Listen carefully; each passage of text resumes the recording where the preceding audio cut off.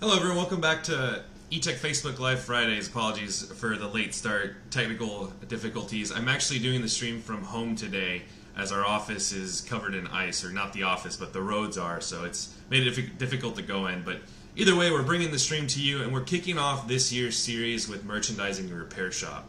Today, the main focus is going to be what you should be carrying in your storefront as far as upsell items go, how to display it, and uh, also just some other tips that would help with building that basket for the customer. So to kick it off, I'm going to switch over to a stream of our website, and I had some pages preloaded just to show some examples, but the categories I would break these down into are tempered glass, cases, and chargers. So for tempered glass, I'm going to go to um, our accessories page here. And this is how most people will display them as well. It just kind of shows a breakdown of each. We have it listed by Apple and Samsung.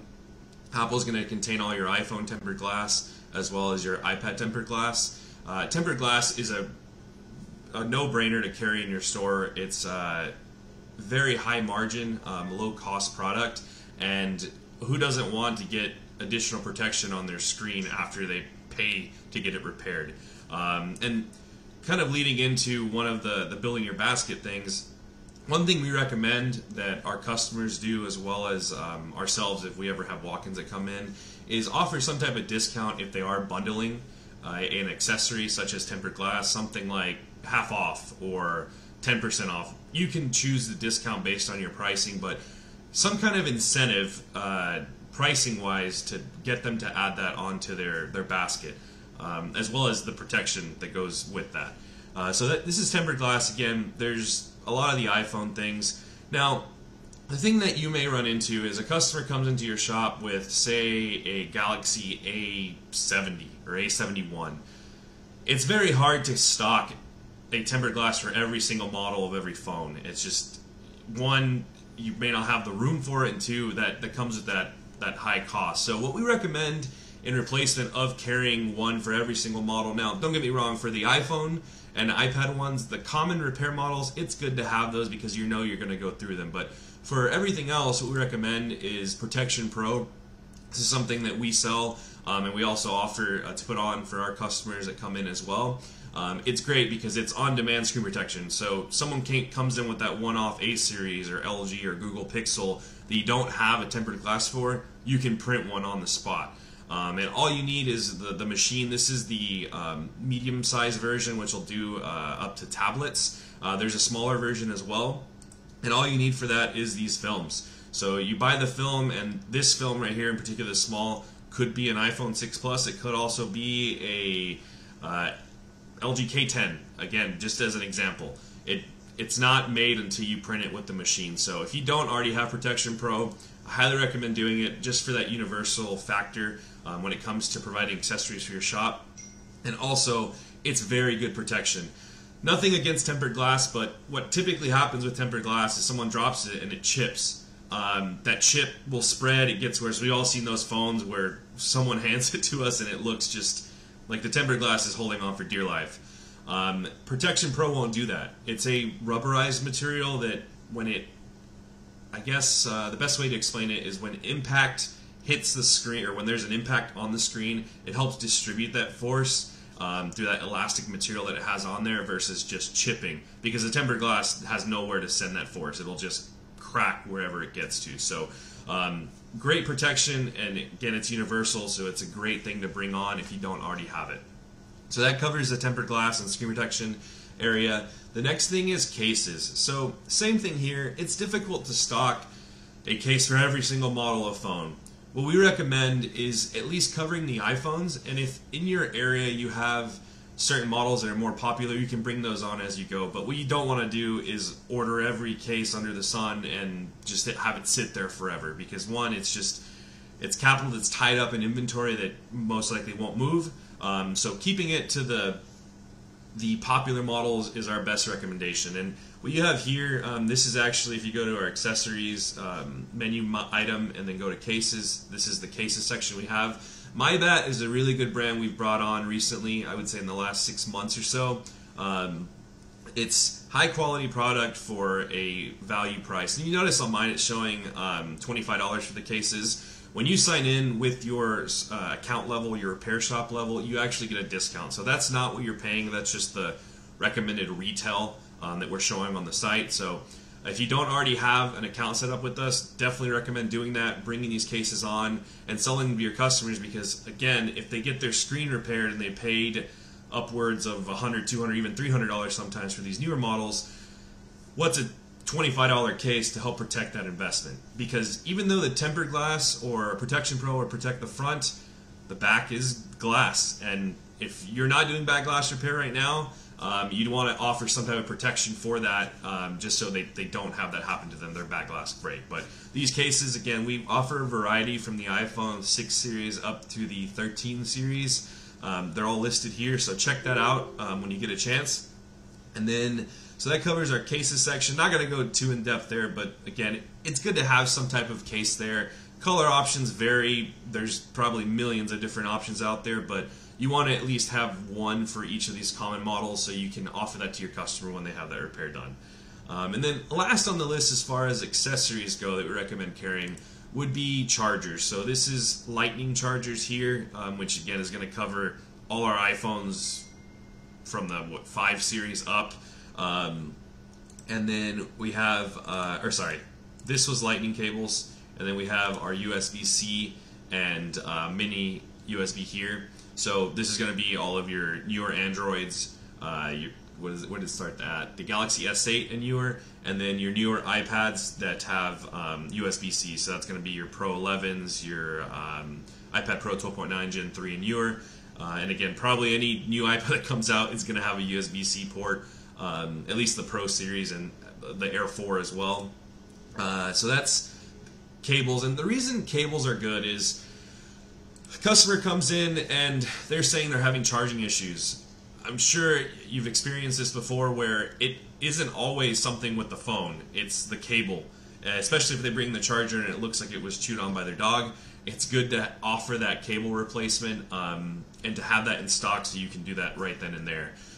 It's also good to offer higher quality cables. Um, the other thing that you might run into is the customer bought a charger from like a gas station or something um, we usually refer to those, at least in in our repair shop, as TriStar killers because when you don't have a good quality cable that regulates that current going from the the block to the phone, it can damage components on the board, such as the TriStar chip, which regulates charging. So if that's damaged, then you can replace the battery, the the charging port, but your phone still won't charge because it's a chip problem.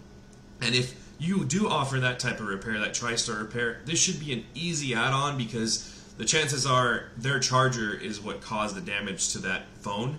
So prevent that damage from happening again because board level repair isn't often cheap. So uh, it's better to again buy a $10 charger and avoid that issue from happening. Um, we offer a variety of qualities and grades here. Um, what we typically recommend is something that says MFI on it because that has the made for iPhone designation on there. It has the chip control in there to prevent damage to the TriStar. So just keep an eye out for that. Um, and you can tell a quality cable by the feel of it when you have it. If when you bend it, it, it doesn't retain its or it, it doesn't retain that bend shape. It kind of bends back. That's good quality cable um, because it won't fray over time, especially on the ends where the connectors are. That's where we see the majority of the damage. But uh, again, just chargers is a good thing to have as an add-on, especially if you have that customer with a charging issue. Um, or another example, say a customer is in your shop wanting to buy a phone.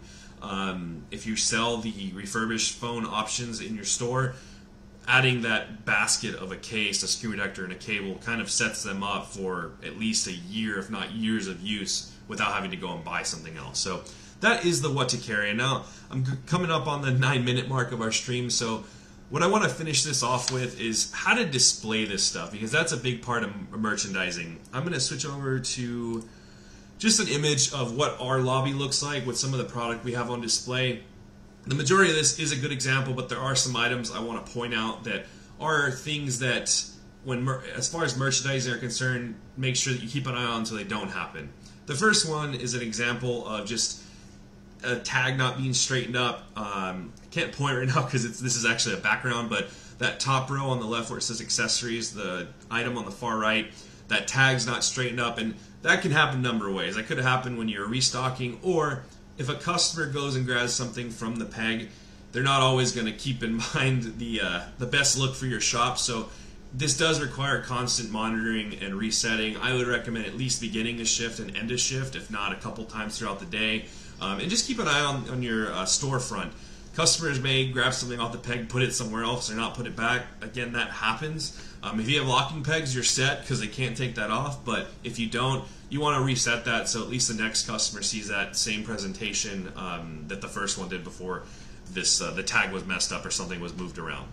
A second item would be something that's not priced. You always want to have your most up-to-date pricing on your your items up there because they'll see that that answers a lot of the questions they're going to bring to you of how much does this cost. And if they have a, an issue with pricing up there, say you have it listed for $15.99 and they're like, oh, this is too much, you can offer a discount if you'd like to seal the deal 10 15% off. It's a couple bucks here and there, it usually covers taxes, but it's a good incentive for them to take that and purchase it versus just putting it back on the shelf where it's going to sit. Um, another big item, too, is that's where you would recommend bundling something. If you offer multi accessory bundles, so say they buy a case, a tempered glass, and a charger give them a bundle discount off the whole set. So get another example of something you can offer. Um, another item that you don't want to do is have any um, empty spots. So on the far right over here, it may be a little hard to see, but that top row and then the bottom row, there's two empty places. If that ever happens and you don't have the stock to replenish it of that particular item, you can call you can do what we call flexing. So you would take the item next to it and flex it over to that empty spot, or you can go down either way. Um, but you want to basically fill that because holes on the wall don't look great. Um, it kind of presents an image of you don't have a lot of inventory, um, which to some customers that may not help with the peace of mind of getting repaired the repair done with you or even purchasing something at your shop. So flexing is a great idea if you ever do run into a spot where you're out of inventory for a certain item. Um, and again, just a general layout here. You can set up a planogram if you'd like. That's what a lot of retailers do. Um, I have a little bit of a background working with some retailers, so that's kind of where this setup came from. But the general idea is you want clear lines horizontally and vertically aligned, um, at least horizontally whenever possible, um, vertically as well. You're going to get items, as you can see, the tempered glass for the iPads, that get a little bit thicker. So for one iPad tempered glass, it's two iPhone above it. Uh, but you just want to work with that because clear lines also help with presentation. It just gives a better organized look to the front, and it doesn't look like things are just thrown up there. Um, as far as where you where you have everything out on your wall, you may have um, slat walls like this with pegs, different areas. You can do it by model. You can do it by type, like I mentioned, cases, tempered glass, and chargers. It's really up to you for whatever space you have. I can't plan this out specifically to your space without knowing what it is. So just take a look at your space and kind of map it out. I'd recommend writing this down first before you go put it up there because it gets super annoying putting pegs up, taking them down over and over. If you plan for this, you don't have to do that. You can draw it out, kind of list out where everything's going to go in your shop. And if you want to get to the planogram stage where you write down what SKUs where on a piece of paper, on a spreadsheet, something like that, great. But at least start off with a handwritten thing. It doesn't have to be perfect to kind of have that plan before you do the live version on your walls. Um, as far as how to display it, that's everything I had on that last point. Um, and I believe the last item I had, this isn't really merchandising for your product that's out there, but we've noticed that a lot of repair shops do have displays in their lobby. You might have a TV or a couple TVs.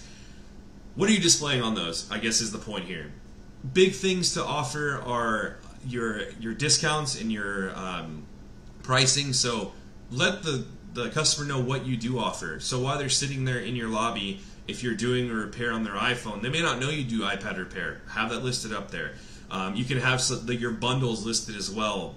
Buy uh, two cases and get the tempered glass free. Or again, just some examples out there and get creative with these things because I have noticed that the repair shops that that are outlasting the others that are turning in record months and they just they keep going to the next level are the ones that are creative with offers.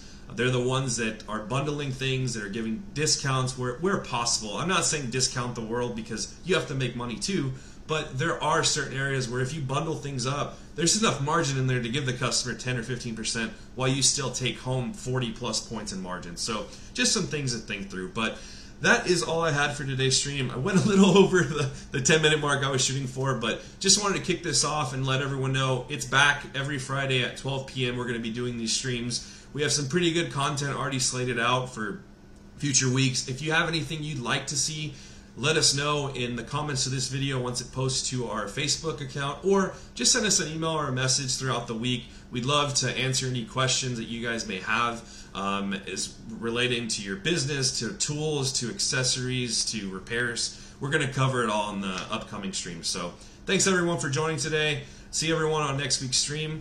And stay warm out there. I know in Texas at least we got some pretty cold weather, so uh, and I believe the rest of the country is kind of like that too. So uh, stay warm, and hopefully everything thaws out soon so we can get back to selling some stuff. Have a great weekend.